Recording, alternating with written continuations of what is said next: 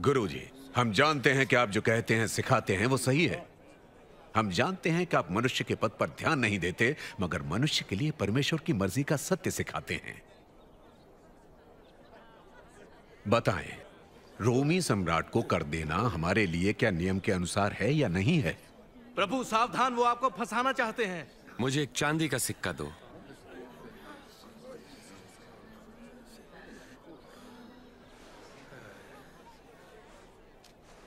इस पर किसका चित्र और नाम अंकित है? राजा का।